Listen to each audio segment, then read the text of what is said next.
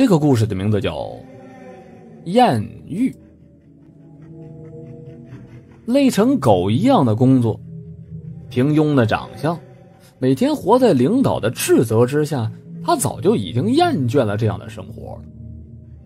同样的学历，凭什么别人却无所事事，拿着高层的收入啊？回到家，心想着可以放松安静一会儿吧，可是看到那还在襁褓当中的儿子，略微臃肿的妻子，儿子的哭闹，妻子的大嗓门的喊叫。他这心里边的这股子无名之火，顿时就发泄出来了。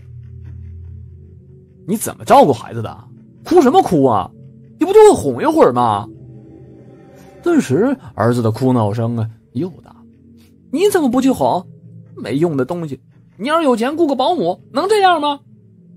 听完老婆的咆哮，他踹门而去，扬长就出去了。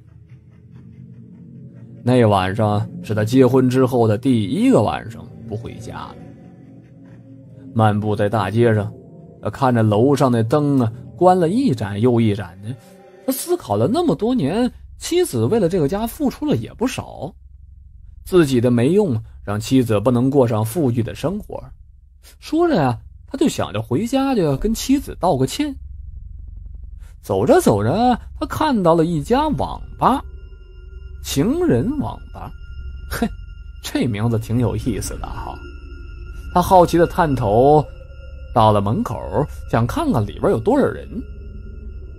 刚刚踏上台阶啊，里边一个男人走了出来，他很有礼貌的打了个招呼：“你好。”那个男人也回应他：“你好，需要进来玩会儿吗？”他想着回家也是吵架，不如进去玩一会儿吧。说完，从口袋里边掏出了现金，走到前台。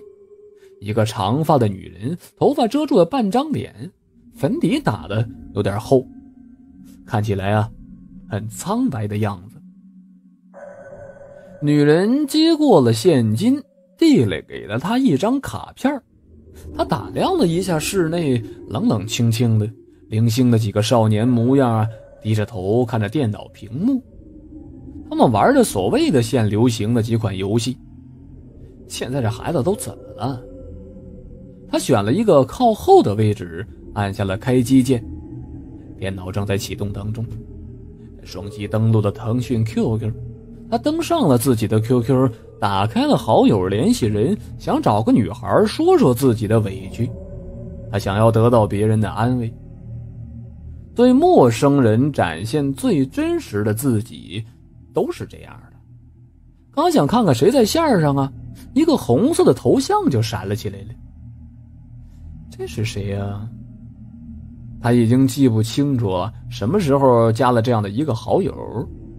他点开了空间，看了看相册，哇，好漂亮的女子啊！正好可以解了解他这寂寞的心。美女你好，你好，帅哥，怎么还不睡啊？在想你呗，呵，难道美女想我呀？来找我吗？现在，我就在你的附近，来找我吧，好不好嘛，帅哥？是吗？他想了想，心想着见面聊的话，感觉会更好吧。他就把地址发了过来。地址：街心花园四单元二零一。帅哥，等着你啊！是挺近的啊，他心动了。面对如此稀有的美女的邀请，谁不动心？街心花园距离自己相隔了两条街。他匆忙的下了机，走出了情人网吧。他捋了捋头发，理了理口袋里的钱，把剩下的五百零四块，也不知道够不够。他怀着忐忑的心来到了街心花园。楼下的路灯忽明忽暗的，看不清楚几单元。他摸索着找了好久啊，才找到那个四单元。借着手机的灯光，他摸索着上了楼梯，轻轻的咳嗽了一下，声孔都没有亮。猛地呀，又用脚跺了一下，还是没有亮光。那声音穿透了楼道，在楼道里边回荡着。回荡着，让他感觉到啊，有一些毛骨悚然的。什么破地方！他在心里边暗骂着。可是，为了刚刚的那个美人，他还是径直走上了楼梯。走到三楼的时候啊，发现是二零零，上一楼就是二零一了。他心里边更加的激动了，这步子都加快了，一个趔趄，差点让他摔倒了。仔细的看了一下脚底下，啥也没有。他走上了最后的一节楼梯，他站到了二零幺的门口，清了清嗓子，用手按下了门铃。门铃响了。我的一秒，两秒，三秒，五十秒过去了，没有人来开门。操！妈的！我是不会是耍了吧？他把眼睛凑到了猫眼上，想尝试着看一看那里边。他把眼睛凑上去，黑乎乎的一片，什么都没有。他有点气馁了。突然，一只硕大的、涂了红红的眼睛正默默的盯着他，吓得他一下就缩回了脖子来。紧接着，门被缓缓的打开了，一位妙龄的女子穿着睡裙出现在门口。她化着妖艳的浓妆，好像专门就是为了迎接他一样。他被请进了房子之内，屋里的摆设很温馨、很舒服的感觉。他坐在沙发上，他有一些拘谨，有意无意的呀，他找着一些话题来聊。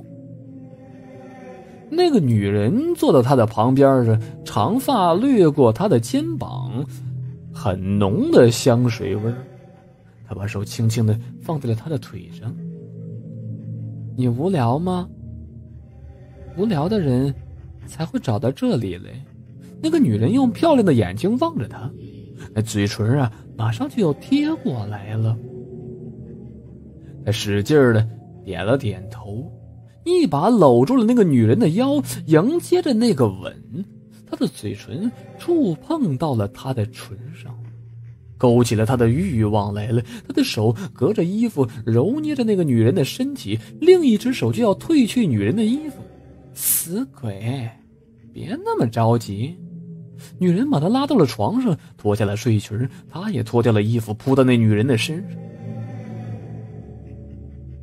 看着自己身下的娇喘，他有了很多年都没有的快感。这一番风云过后。他觉得对不起自己的妻子，他回家道歉。很快，他就把那个一夜的女人忘到了脑袋后边去了。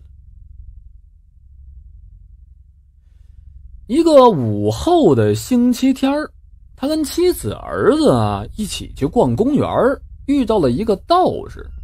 那个道士跟他说：“你将有大灾难了。”他这个人是从来不信这些个东西的。而妻子呢，却焦急的问那个道士：“怎么了？我丈夫怎么了？”这个要问你丈夫自己了。妻子疑惑的看着他：“你是不是遇到过什么不寻常的事儿啊？”道士也看着他，他一时之间不知道该怎么说。你的身上有过重的阴气。听道士说完，他就拉着妻子快步的走开了。从那天开始啊，他就感觉到自己这个身体有一些不适了，却也是说不出来什么地方不适。去看医生啊，也没有好转。他只觉得他的肚子慢慢的鼓了起来，而且一天比一天大。无奈了，他只好啊休假待在家里，拖着大肚子，最后走路都不方便了。